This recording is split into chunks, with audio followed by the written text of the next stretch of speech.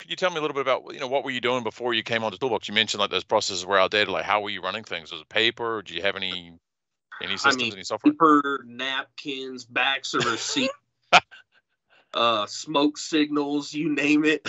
Uh, it was kind of a wild ride uh, for a while. Um, yeah. Trying to organize things. Uh, I don't know if I can say this or not, but via QuickBooks, yeah, uh, spreadsheets. Perfect. Yeah.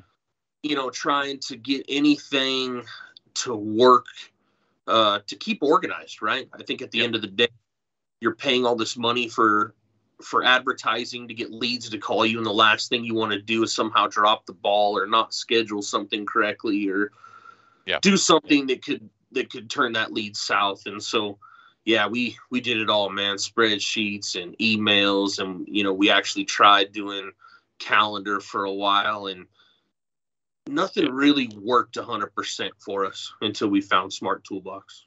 Okay